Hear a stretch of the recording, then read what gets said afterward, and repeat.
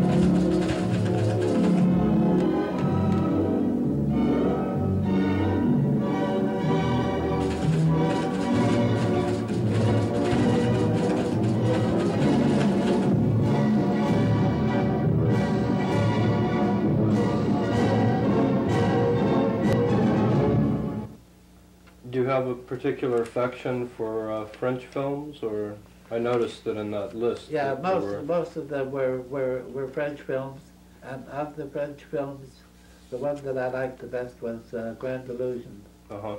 As a matter of fact, you know, the first time Grand Illusion was distributed in this country, it was not titled by me. Somebody else did it and left out about half of the dialogue. Uh-huh. And uh, after the war, he, he said that he wanted a new titling job done, and he told the American distributor that there's only one person he will trust to do it, and that was me.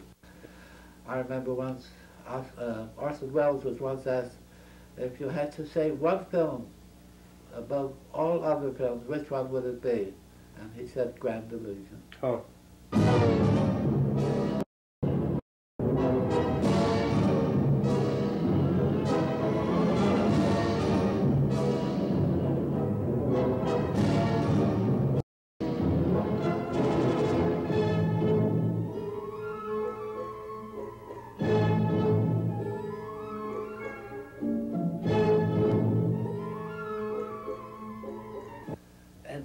1927, all movies were silent, Right. you know, and the big theaters like the Capitol, the Rivoli, the Strand, and all that had uh, full symphony orchestras, each one, and, and they were playing, they were showing foreign films and playing music scores written by big composers like uh, George Auric, Darius Milhaud, Stravinsky.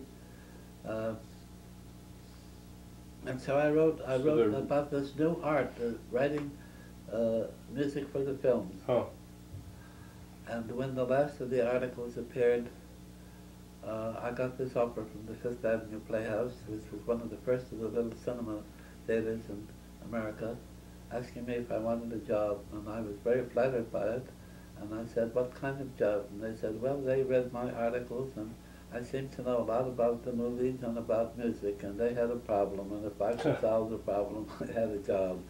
The problem was to uh, make some kind of adaptation that the music scores that they were getting, along with the prints of the pictures, uh, for a small chamber ensemble that they had, because Hmm. they couldn't play the full. The full Score. orchestration. Yeah. And I thought that was great.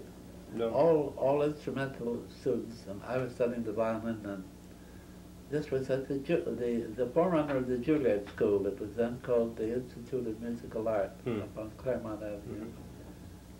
And uh, all students, all students, even vocal students, but especially instrumental students, had to take a certain number of hours each week of harmony, theory, and composition.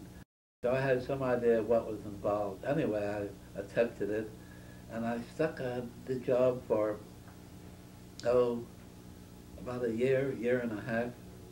And then, of course, somebody with nothing better to do discovered something called the photoelectric cell.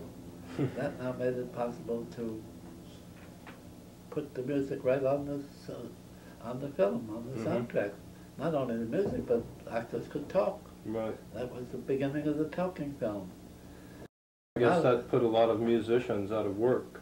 I beg I guess that put a lot of musicians out of work. It certainly did. Well, of course, many of them went to the studios in Hollywood to get jobs in the orchestras there. Uh-huh.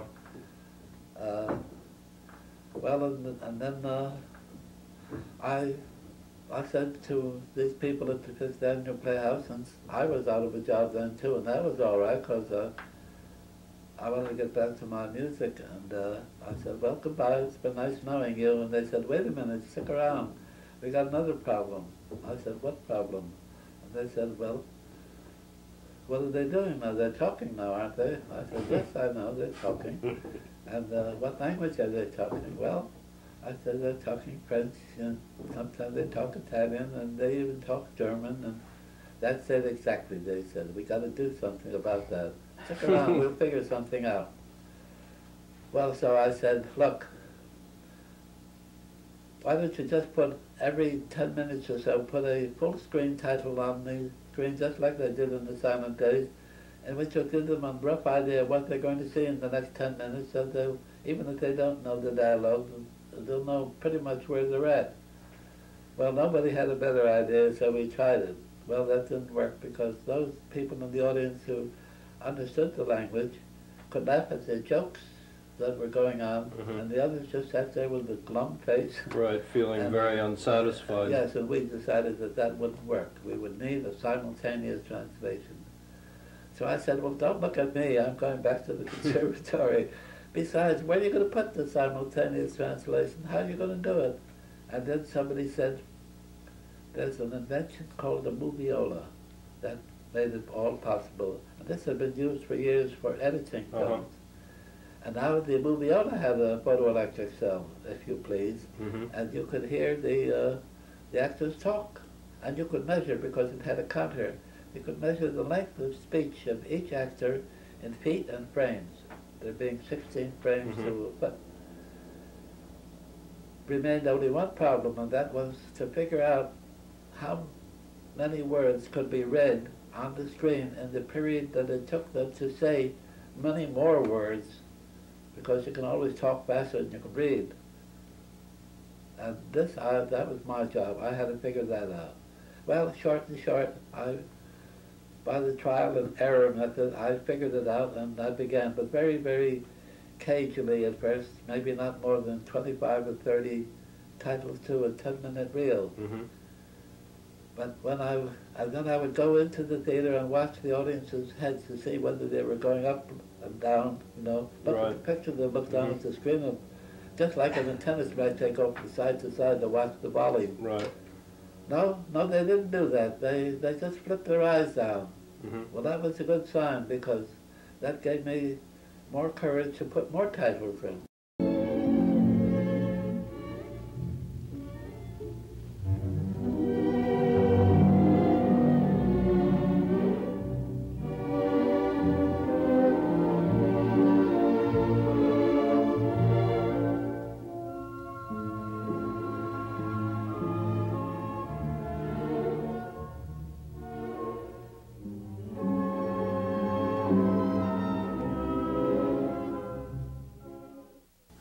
There was a distributor of uh, foreign films, Italian, French, mostly Italian. His name was Joseph Burstyn. He became very successful, extremely successful, in buying Italian films, French films, and he knew not a word of French or a word of Italian. He hardly even knew English very well. And I said, well, what's your method? How do you decide what film to buy? So he says, you know what my method is? It's very simple. I sit in the projection room and I watch the film. I have the faintest idea what it's about. and if it doesn't come through to me without having any subtitles on the screen, then I don't want it. Hmm. I want only the kind of films that come through to me no matter what language they're talking, I know what they're talking about. And he said, that's the way I felt when I saw Shoeshine, Open Sea, and so forth. hmm And it worked. Absolutely worked. Which shows you that, that, that basically, where a good film is concerned, you don't even need subtitles. Of course, it makes a lot of people nervous to sit in the theater and, and watch people talking in a language that they don't understand. And I suppose one could understand that. But you don't really need it. If you had to sit through it and it's a good film, it'll, it'll reach you. There are films which, which uh, have a way of piercing the heart. I remember seeing one, this, this Italian film about the trees, and the clocks. The tree of the wooden clocks. The tree What? of the wooden clocks. Yeah, the old tree of the wooden clocks or something like that. This was a film that reached the heart and wouldn't have needed a single subtitle. This was, this was a marvelous little film. Well, no, it wasn't little, it was a long film. Uh-huh. Uh, Anyway, the last film I did was, uh, uh, oh, Renoir's The Little Theater of Jean Renoir. That was some years ago. I, I, you know, I taught, I taught a film history class at uh, City College for a long time. I used to tell my students that year, if you want to see one, if you want to see one swan song for the price of two swan songs, see the Little Theater of Jean Renoir, because it is not only Jean Renoir's last film, but it looks like it's going to be the last film that I titled. So two swan songs for the price of one swan song, and besides which it's very sweet. Yeah, it's a very So, uh, touching movie. yeah. That That was Um, do you miss working?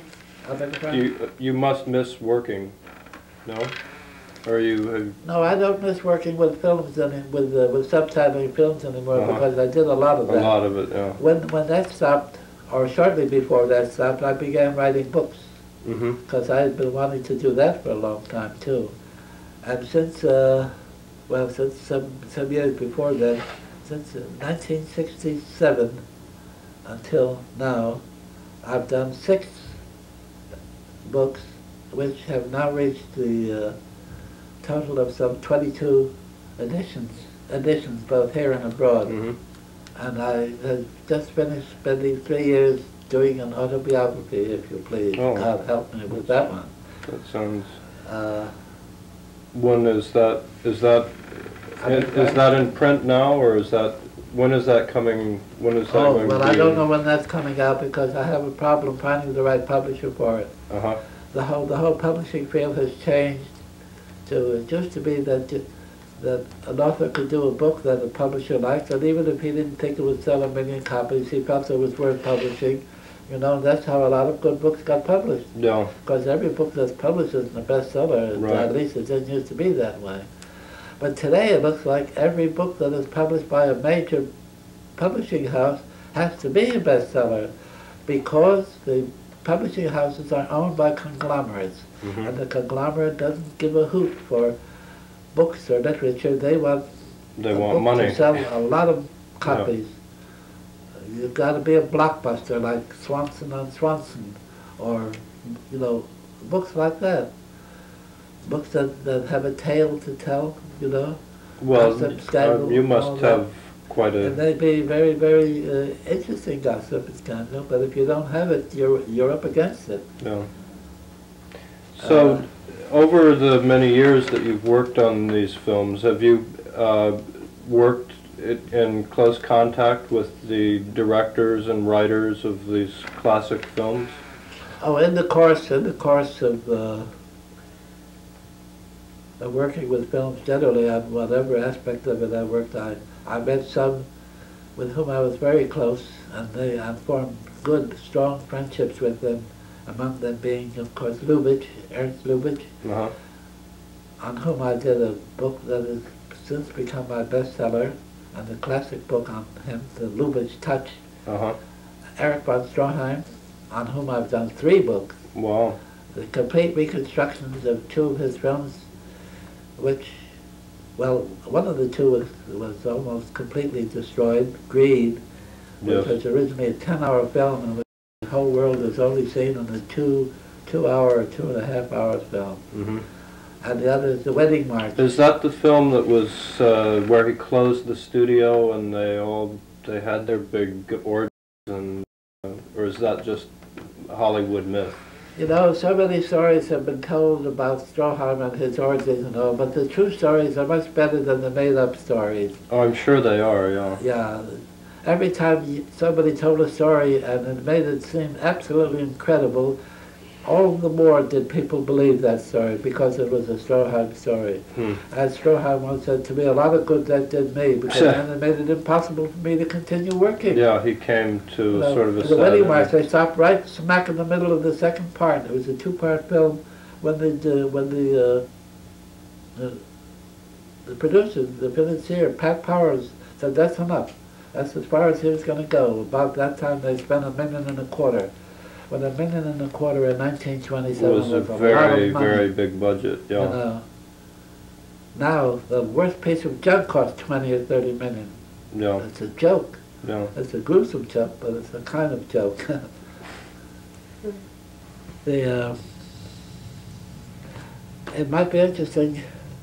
What is interesting is the uh, the way I got the stills for Greed and uh, the Wedding March. Since we're talking about the Wedding March, I'll I'll just tell you this one as briefly as I, I can. Pat Powers, the Irishman, the genial Irishman who put up the money for this picture, died, and uh, I went to the attorneys who were liquidating the estate and asked them what happened to the two prints of part one and part two, which, which Pat Powers had and which he showed Stroheim and myself. Oh, they said, we have it. Why? Are you interested in it? I said, yes, I'm interested in it. You, you want to buy it? Because they were trying to turn everything in- uh, into money. hmm I said, yes, I, I want to buy it. How much is it? I have no idea of what they would ask for it. They, the, the two parts, as far as they went with it, cost a million and a quarter. To make. You know what he said? It's incredible, and you won't believe it, but that's what he said. A thousand dollars for the wedding march and five hundred dollars for uh, part two. Oh. That is I took out my checkbook so fast, I wrote out the check before he changed his mind. and I said, I'll be back with a small truck this afternoon to pick up the, the film cases.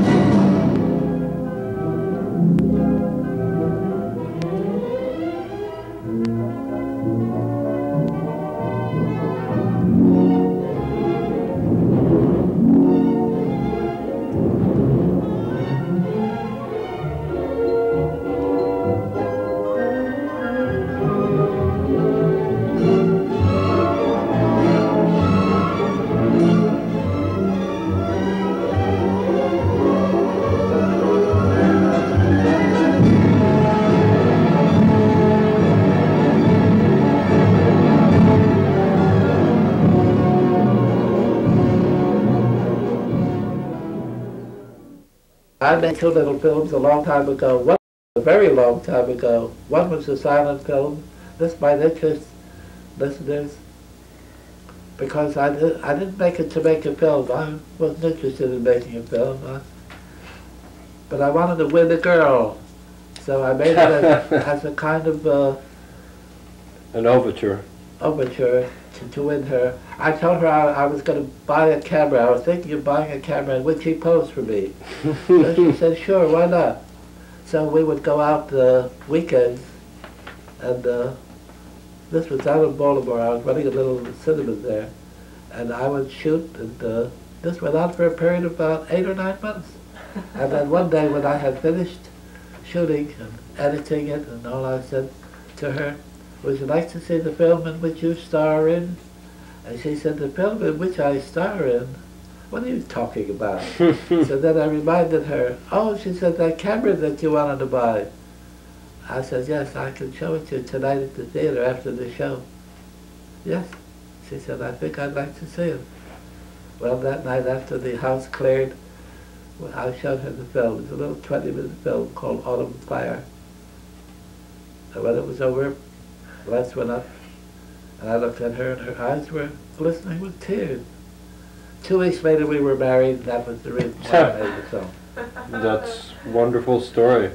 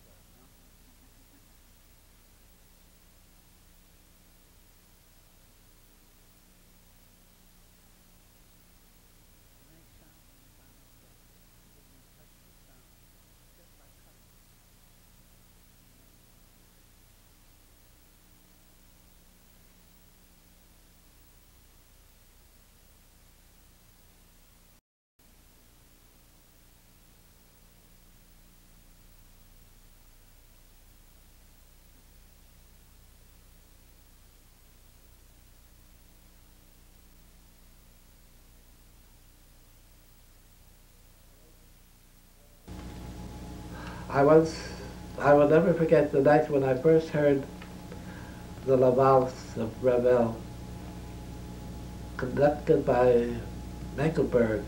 He's no longer with us. The Dutch conductor in New York Philharmonic at Carnegie Hall. That was something that I will never forget. And then, of course, since then, I followed him up and I, I know everything that he's done. I think it was a marvel. He incidentally, he said that, he once said, his favorite composer was Mozart. He said, I believe in Mozart and God. And my, my screenplay on, on, on Mozart has that approach too.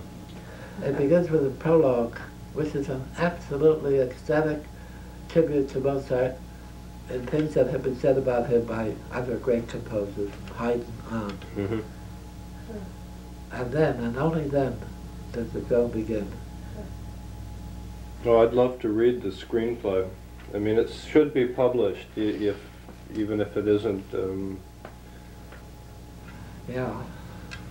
but uh, the film so. would be marvelous with all of the music and the locations and, Well, I think so. I think I think it should be. It should. And some some some uh, some companies should be subsidized. There are so many foundations with so much money. You know. well, you know, Let's speak about the United States Government Foundation, the Pentagon. yeah, You know what they what I would rather not think about them. Maybe we better not speak about. It's- That, that is truly depressing. It's a terrible thing. We, we, we, we, we're doing what we should be doing. We're broadening out from film into, into art in general. And that's the only right way to talk about film. No. Not to say, gee whiz, what's Robert De Niro's next picture going to be? That isn't what the movies are about. And if that's all that the movies are about, I'm not interested No. in such movies.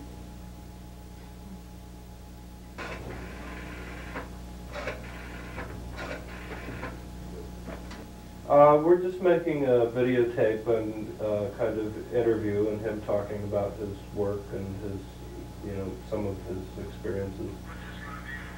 Uh, for a cable television show. Yeah. It's called Communications Update and it's on um, Wednesdays at, what, Wednesdays at At 7.30 7:30. and Fridays at 3 on uh, Channel D.